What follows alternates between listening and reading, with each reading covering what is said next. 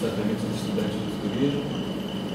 E a convivência, né, poder partilhar a mesa aqui com o professor André, nosso ex-aluno graduado em turismo, e hoje aí à frente do escritório de turismo, né, Rafael e o professor Marcelo.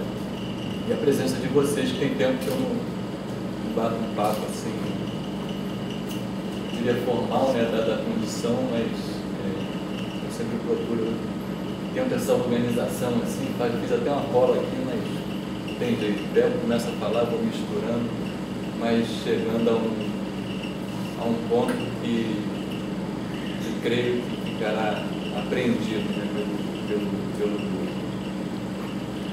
É, eu não sou turismólogo, né, eu sou venho da área de educação, ciências sociais, me considero um, professor provocador na, questão da educação nas áreas e nos lugares por onde passo. Né?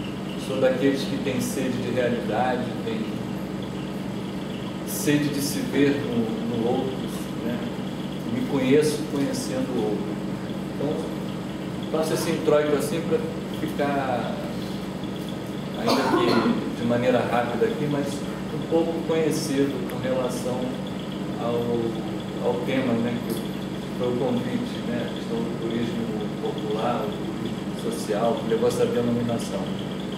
Eu, eu gosto de dizer assim que as coisas não, não saem do nada, né, não aconteceu, não existiu, não existe, ah, tem turismo popular, conta história, assim.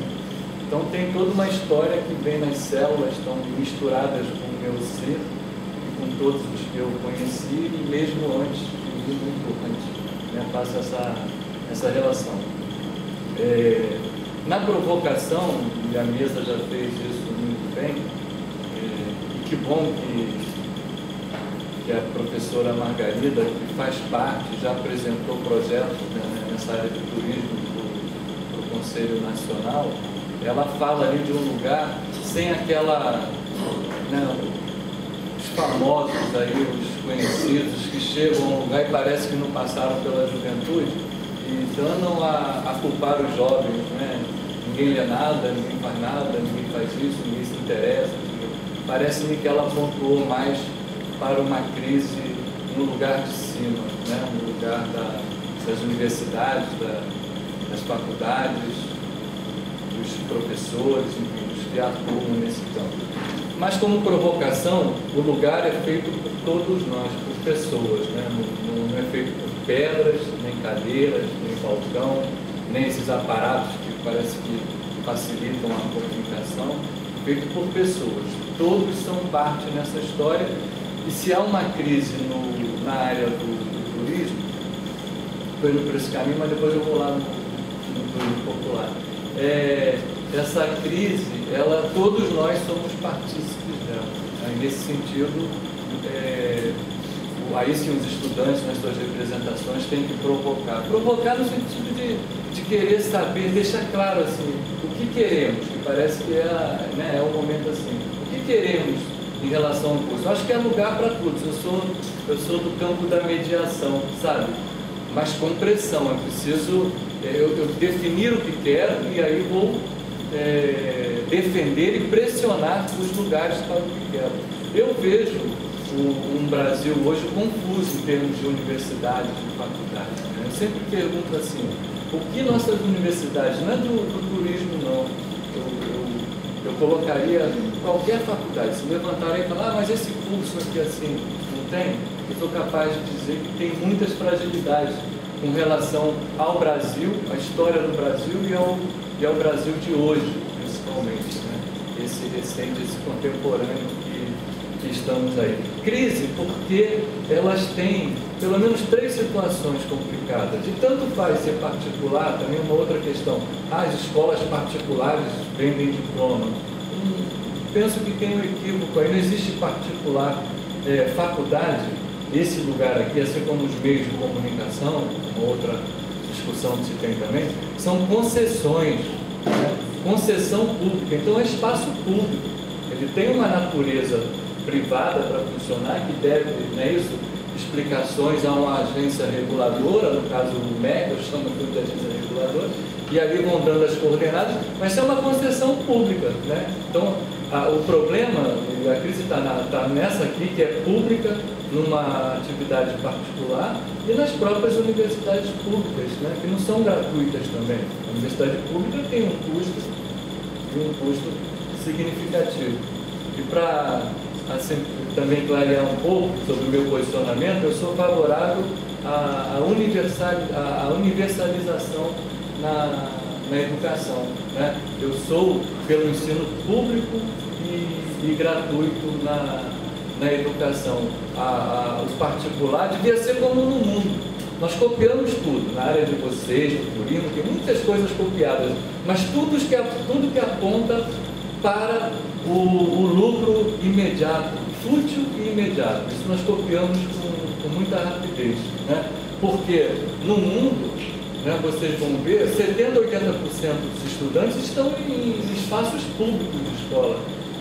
A privatização se dá em torno de 25% a 30%. A nossa história em particular, ao contrário, 80% estão nas instituições privadas, um pouco menos de 80%, e um grupo lá no ICBM. Mas com relação a, ao ensino, aí todos somos parte. Se, se, há a, a, questão do, da venda ou não, como é colocado lá, aí todos, professores, principalmente as instituições que organizam, os que fiscalizam, que dão a concessão, que é a concessão, e os que ingressam lá. Na crise é preciso ficar claro, nosso modelo de faculdade é confuso, e aí o curso fica confuso. Né? O curso, por exemplo, o nosso curso aqui, os de turismo que conheço, não dá para definir, uma hora são cursos três anos, de três anos e meio, de quatro anos, pensam muito no quantitativo e pouco no conteúdo, no que se quer. E profissional, e profissional para quê? Né? Eu penso que a universidade ela foi criada de forma elitista, desde sua origem. Tem o famoso exemplo de Thomas Jefferson, creio que, que vocês já passaram por ele em algum momento da história, né? que defende que todos nascem iguais, têm direitos iguais, e isso deve ser garantido né, na democracia. Ele cria uma universidade na Virgínia, e na universidade que ele cria tem lá a, a, as residências, né, uma coisa avançada, professores, alunos, todos morando no espaço, e os alunos têm suas casas e, e cada casa, cada quarto tem um porão embaixo. E o porão exatamente porque cada aluno tem seu escravo lá para acompanhá-lo durante a universidade. Quer dizer, é elitista sim a universidade, ainda é, basta ver o número de, de estudantes na, na universidade brasileira, né? nós não chegamos a 30% do, do, do jovem em idade para ocupar esse espaço da universidade, ainda estamos numa defasagem grande, mas ela precisa, num Estado democrático, num país democrático, num lugar em que nós, se eu perguntar a cada um, acho que todos são é, é, é, seguidores pensam que a democracia é o melhor caminho, dizer, se pensamos assim, é preciso romper né, a universidade, a saúde e outras áreas que temos, romper com esse elitismo no qual ela foi criada e engajar-se efetivamente no social, né, no, na realidade em que, ela, em que ela existe. O produto de, da universidade está no campo das ideias. Nesse sentido, a, a, a, a professora Margarida, que apresenta lá, estou aproveitando ali a fala do professor André, o, a citação que ele fez, né? ela tem razão. O produto das universidades está no campo das ideias. As ideias é que vão mover o tal mercado de trabalho. Uma universidade, em princípio, não pode estar atrelada diretamente é, e unicamente ao mercado de trabalho. Essa formação onde eu preciso falar de manhã o que vai ser aplicado à tarde. Não, no campo das ideias, você tem uma produção. E essa produção tem que servir à sociedade. A sociedade não pode ser abstrata, tem que ser somos nós. Né? Eu tenho o hábito de falar a sociedade, a sociedade está sempre distante. Né? É como o povo. O povo é né? muito comum. É, professores, intelectuais, políticos, não, porque o povo, o povo, o povo está sempre lá, eu não sou o próprio. Né? Somos todos. Então, o produto das ideias aqui tem que servir essa sociedade que está aí. E aí eu pergunto, em que medida a nossa produção intelectual, a nossa produção de conhecimento está a serviço dessa, da, da, da nossa sociedade? Né? Eu costumo dizer o, o, o, coisas que me inquietam no, no campo, e aí chegando para a área do turismo e todos os, os campos. É, me cansa né, a produção, professor André, Marcelo, Rafael e Paula, é, do desperdício né, nas universidades do Brasil de ponta a ponta. Né? Hoje, por exemplo, vocês têm no curso de turismo a monografia, voltou à grade curricular, não é isso? E, e na comunicação já há alguns anos, e na, na engenharia, na medicina. Então, e quantas monografias são produzidas apenas para dar a nota do, do, do final do curso? Né? eu, eu vou ter minha nota, vou, ter, vou passar, vou seguir minha vida, e pode seguir isso também, mas não pode ser o valor máximo esse, nem depois arquivada numa biblioteca. Eu, isso, a isso eu chamo de desperdício e, e posso estar errado, equivocado, né? mas são muitos em todas as, as nossas universidades. Por que esse momento né, de trazer o acúmulo do curso, dessa caminhada, seja qual for, mas tem uma caminhada. Eu não acredito que que um estudante passe por uma faculdade, seja qual for a faculdade, aquele que queira e que tenha vontade de ser efetivamente a sua natureza, que a natureza do ser humano não é buscar o lucro imediato, não é querer olhar para o seu umbigo, não é querer as coisas só para si. Isso está mais do que provado. Eu fico até brincando, basta ver um, um acidente, um, um, um fenômeno desse da natureza e você vê o mundo todo partindo para uma um compartilhar, querer ajudar, né? querer ser solidário. Ó, ser solidário não tem nada a ver com esse mercado imediato que está aí, que é competitivo. Né?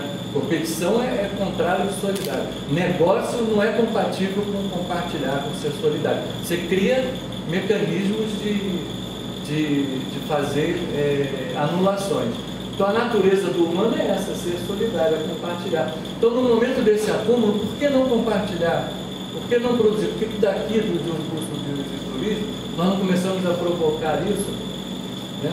É, e, e, e, tornamos isso mais importante, o valor máximo, de saber em que medida nossa produção ajudará o nosso espaço, o nosso território, o nosso município, políticas públicas.